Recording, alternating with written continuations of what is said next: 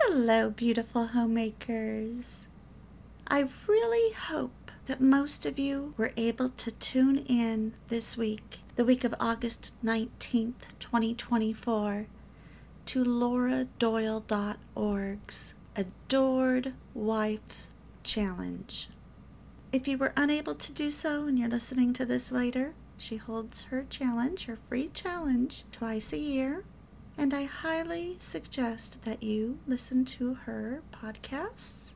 And if your marriage is in a really bad place, maybe he's moved out, or you're living in separate rooms, you're not speaking to each other, there's no fun in your marriage, and you feel like you're on the road to divorce, definitely get her book and maybe even look into her coaching. One of the first things she has you do is self care. And I want to talk today about the difference between self care and being selfish. Many women, I think especially Christian women, feel guilty when they take time for themselves because they feel like there's so much to do so many other people need help and we're doing great. We we've got all these blessings. We don't need to take time for ourselves. We just need to get through our lists. But that's not true. In Laura Doyle's book, The Empowered Wife, on page 27, she says, Doing something pleasurable means it feels good in the moment you are doing it not afterward. She's trying to define self care. So, like one woman had said, Oh, I did the laundry. That was my self care. And she's like, That is not self care. It has to feel good in the moment you're doing it, not afterward. And yet, there really are a few women out there that love doing laundry. They like hanging their clothes on the line. To them, being out in the sunshine, folding those clothes, that's self care for them. But she goes on to say on page 28 housework is not and never will be self care. Not like singing and dancing or going to a party or getting a massage or sneaking off to read or having a piece of chocolate and coffee. Whatever it is that gives you that happy lift. Now I'm going to break that down for you just a little bit. Housework is not and never will be self care. And yet, on my self care list is puttering. Puttering around your house when it's quiet, maybe you're alone. You don't have the radio on, you don't have a podcast going, there's no TV. You're just thinking thoughts in your head. Maybe you're singing silently to yourself, or, or maybe you're singing out loud and you are just putting your house to rights. I find that I do this every Friday. And then I look back and I think, oh, that was so nice. Ugh, I love the peace of this.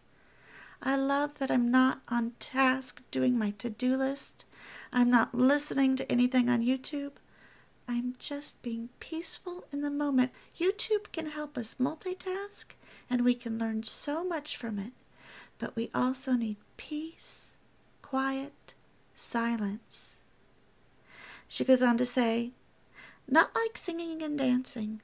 Now, I love singing. I love singing a cappella.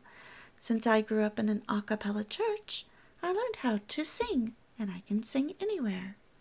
I sing at home.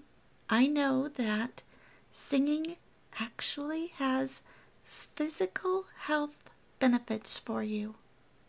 Isn't that amazing? Then she says, Dancing. I'm not a dancer. I never have been. Doesn't bring me joy. She says it's whatever is for you. Dancing is not for me. Going to a party. A lot of people love to get together with a lot of people and have impromptu parties or planned parties. For me, going to parties is often a chore because I'm an introvert. I would rather have one on one time with people. And I had to tell one of my party friends this. I just came right out and said, You know, you have all these birthday parties. I'm always there. We usually have a good time. But then she was having a Christmas party, and I said, You know what? December is stressful enough without throwing parties into the mix. I said, I won't be there, not because I don't love you, but because parties don't energize me. They take away my energy. This woman throws a lot of parties. Even when I have a good time I meet new people, sometimes I walk into my car and I meet a person and we'll get into an hour conversation and I've had a lovely time.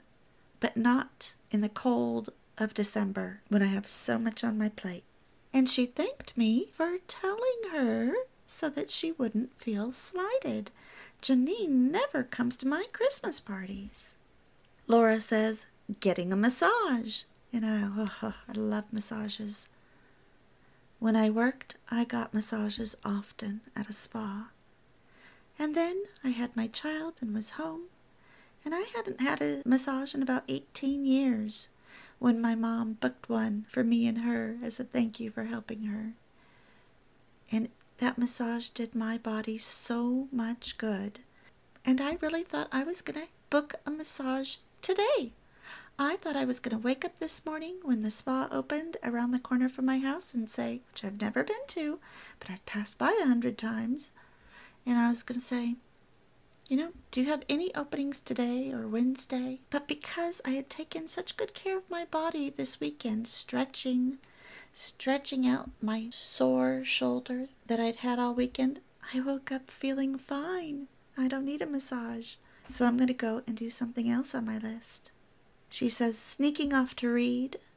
Well, we're going to talk about that a little bit more in depth later. Having a piece of chocolate and coffee. For me, that is not self care. Chocolate will often give me heartburn, so it's no longer self care. Coffee when I was eight years old, I decided I was not going to drink coffee, and I am so glad that I can wake up every morning without a caffeine headache or needing that caffeine. I wake up pretty darn joyful because I'm not dependent on that drug caffeine. But for most of you, coffee is going to be on your self care list. Before I tell you what is on my list, I want to talk about what is self care and what is selfish.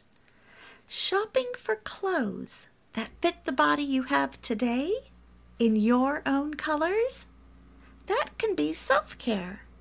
Now, if you say, Oh, I hate shopping, well, okay, that's not going to be self care for you. But many women do enjoy that. But what is not self care is shopping for clothes that fit and are your color, but putting them on a maxed out credit card because you don't have the cash to pay for them. That is not self care, even though you had fun shopping, because afterward, you know that you have just cursed yourself. You're going to feel guilt, you're going to feel heavy. The burden of debt makes you feel heavy. Self care needs to bless you Putting things on a credit card that you cannot pay off when due is a curse, not a blessing. So instead, you need to save every bit of cash you can in a place in your house so that you can then take that cash and go to a consignment shop or thrifting or to a garage sale or to TJ Maxx or Old Navy, a place like that, to find the clothes that fit your body. Self care could be getting lost in a really good book. But it's not self care when instead of doing the necessary work, like maybe your morning work, which then makes you feel behind all day.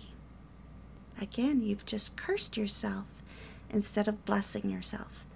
The way around that is you do the needed morning work, like maybe putting the dishes into the dishwasher or starting a load of laundry, whatever your necessary morning work is. And then you put on your phone a reminder that's going to ding at, you know, 10:30 in the morning or whatever time is best for you, and it says, "Read for self-care." All my life my mother taught me that reading is a reward. I always wanted to get lost in a book, but she would say, "Do your work." Reward yourself with a chapter or maybe three, depending on how long the chapters are. and then go do the next step of that work, and then reward yourself again. This is how I get so many books read. Many are going to put on their list of self care going to the gym or Pilates if they really enjoy that type of thing. Let me tell you what is not self care going to the gym and putting your children into the gym's care center where they cry because they want to be with you. Oh, they'll be fine, the worker says, or whoever is watching your child says. Soon as you leave, they'll snap out of it. No, you've just crossed the line to selfishness. But I need to work out. You do not have to work out at a gym. You do not have to work out in a way that keeps you from your children. That's selfish. And why is it selfish? Because you can find other ways to exercise without imposing on your child's time with you. They need you. One day, your children aren't going to want to do things with you. So don't have any regrets over their tears of leaving them with someone else so that you can try and get that beach body. Exercise in a way that pleases them too. Teach them to exercise with you. Small children, you take them to the park, you let them play while you exercise. Very simple. You take them on walks with you. You put them in a stroller and you run. Even though I don't think running is a great exercise for most women because it typically hurts your body in the long run. Okay, I mentioned that on my list of self care is putting the home to rights with a good, long self care video, such as Homemakers Radio with Lydia Sherman. You're not familiar with her, you can look that up. What is not self care is cleaning out a closet by pulling everything out and making a bigger mess, and then feeling overwhelmed, and then leaving things because you get called away. Not self care.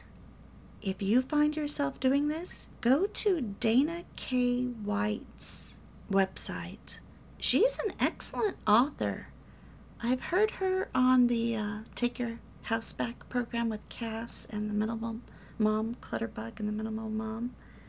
I heard Dana say that her first love is writing. She's a published author, three books. I've read two of them.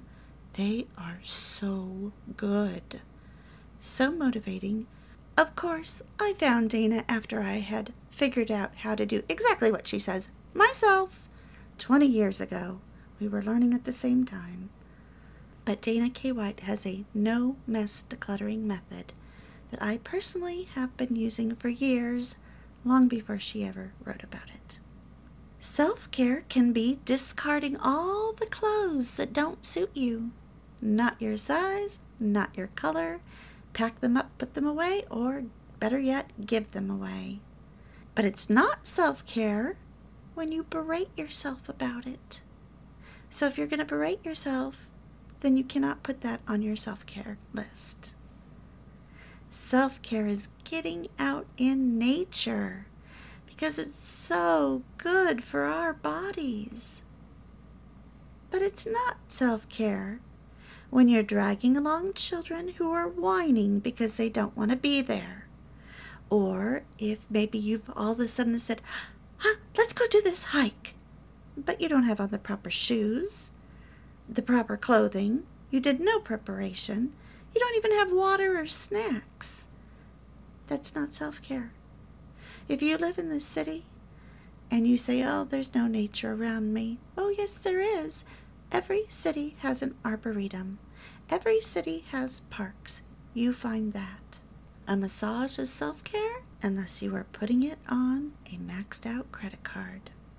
Self care may be going out and doing something with your girlfriends. But it's not self care if you're putting it on a credit card that you can't pay. And it's selfish if you are leaving your children with a sitter. Now, if you're leaving your children with your husband, that's fine because children belong with their fathers as much as with their mothers. If you're leaving your children with their grandparents or another close relative, that's fine. But when you're leaving your children with a friend or other babysitter and your children don't want to be there and they want you, then that's selfish. Your babysitter is not going to love your children the way you do or the way a family member does.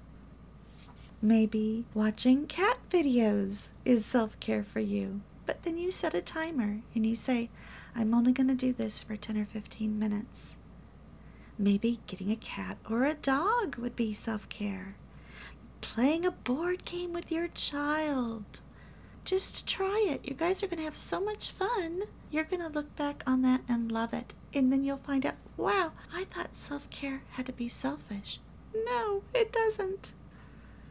Now I am going to go over what is on my self care list from many years ago when I first heard of the Ridiculously Happy Wives Club by Laura Doyle. She had us write a list of 20 things, and I could only come up with 19. Practice self care for your own pleasure three times a day. This is what I have massage, reading, laying down and listening to homemakers radio, etc. Blog or write. I used to be very into that. Walk or exercise. At that time, I was very active. Being on the backyard swing for 20 minutes, just chilling or, you know, watching the squirrels or reading. Taking a bath. Putting on makeup every day. Shopping. Doing crafts going out to tea, shopping at Sugar Plum, which is a pop up boutique near me, go to a park, go to a new library. I love visiting libraries.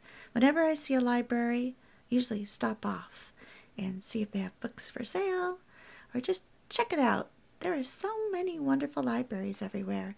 And when I was in Ferndale, California, which is an old Victorian town from the 1800s, all the homes are still there. They have an original Andrew Carnegie library that I stopped in and talked to the librarian about.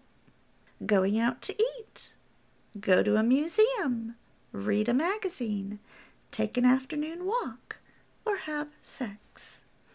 In fact, Jennifer Flanders, who wrote the book Love Your Husband, Love Yourself, she has an excellent website. Well, she gave me permission to share her handout on seven reasons wives need to give their husbands more sex. Studies show that having an active sex life within the context of marriage packs as many benefits for women as it does for men. Number one, Better health. Sex boosts immune function and protects against a whole host of diseases. Your immunity, longevity, circulation, and fertility all go up, and your risk of cancer, stroke, heart disease, and hypertension all goes down. Sex gives you a more youthful appearance. Couples who have sex four times per week look 10 years younger than their actual age. It gives you leaner muscles, stronger bones, more supple skin, thicker, glossier hair, better posture, increased confidence, and more vibrant energy. Number three, it gives you peace of mind. Sex promotes good mental health as well as physical health. It lessens stress, reduces anxiety, relieves tension, improves cognition, and alleviates depression. 4. It'll give you marital stability. Sex does for a marriage what good landscaping does for a house. It adds beauty and protects the foundation. In fact, anytime you have something hard to talk to your husband about, good time to do that is right after having sex while you guys are still naked. 5. It gives you clout and credibility. Does your relationship to your husband reassure your kids that sex is worth the wait?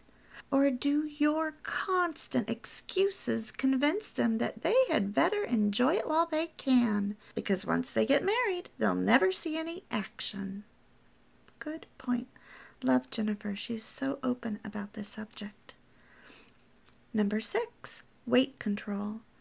Sex burns calories, tones muscles, and reduces cravings. 7. Amazing return on investment. Very few things in life pay such incredible dividends on so small an investment of time as making love to one's spouse. Fifteen minutes a day can lead to a lifetime of health and happiness. Her blog is called Loving Life at Home. She also has a podcast. Now, just last night, I redid my self care list. What would be on my list today? And when I was reading to you the old list, I've noticed that several things I wouldn't want to do anymore, such as take a bath. I'm really not into that anymore. Do crafts. Eh. Done enough crafts in my life, don't want to do that anymore. Go to a museum? Maybe. I've done almost all that I really have wanted to do. I've got one or two more left that I would like to do. Read a magazine? Nope. That's no longer on my list. This is what's on my new list. Ooh, I start off with the same thing I did last time. Massage. Really like that. And I put something on for number two that I've never done before, but sounds really good. Going to the spa for foot reflexology. Mm, want to try that one day. Number three, I put clothes shopping. Four, sugar plum shopping. Five, going out for Italian food. Six, singing a cappella. Seven, going to church. Going to church is self care? Absolutely. Nothing better. Eight, reading. Nine, swinging or reading or lazing on the backyard swing. And I have not done that in several years. I need to get that cleaned up and do it again. 10. Having sex. 11. Walking. I do that twice a day when I can, which is most days. 12. Going to the beach in the morning.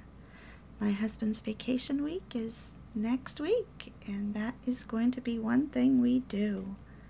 13. Creating empty space in my house. When I made the decision to get rid of our recliner that we had stopped using, we needed it a lot when my son was little and we would rock him and you know put him side by side with you in the recliner to read. But we don't need it anymore. And it took up a lot of space. It was sagging in places. I said, I'm going to get rid of that and I'm not going to fill up the space. Oh, that made me feel so good. And now I have this empty space that also makes me feel good afterwards. Every time I see so much space in that room now, I just love it. 14. Teaching Sunday School. Yes, that's a lot of work, but it is so joyful to plan these surprises for the children, like the loaves and fishes bringing out little oyster crackers and little fishy crackers on a tray. But underneath the napkin is a whole bunch of loaves and fishes. And then as they're praying, you whisk away the five loaves and two fishes, and then they open up their eyes, and oh, there's all these fishy crackers and loaves. So fun to do things like that. Love teaching Sunday school. 15. Having lunch with friends. It's important to keep up with your friends. It doesn't always have to be something where you spend money, but with each friend, I do something different. We kind of have our own thing that we do. With my prayer partner, we would go for a walk for an hour, and then we would pray for an hour. She just moved across the country. Number 16, doing genealogy or scrapbooking or putting pictures on Find a Grave. 17, puttering around my house, putting it to rights. 18. Being alone. 19. Petting my kitties. And 20.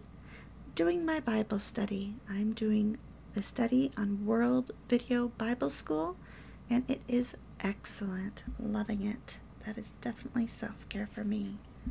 Another one of my favorite things to do is I attend a group called Sisters in the Spirit. We get together and have lunch. Sometimes somebody will host lunch, and sometimes we just bring our own lunch. It's always after church on a Sunday, about once a month. And this talk was given by Tamara. It was called Eliminate the Hurry. She had us play three games, and the first one was being on teams and wrapping someone up in toilet paper. The next one was sucking up a fishy cracker with a straw and then placing it into another bowl. And the third one was balancing dice on a tongue depressor. After we played the game, she said, Now, I want you to write down what you felt, acted, and said. So, what I felt was both dread and happiness because it was fun. How did I act, even though it was kind of like, oh no, why do we have to do this? I laughed and I smiled and I had a good time. What did I say when she announced these games? I said, oh no.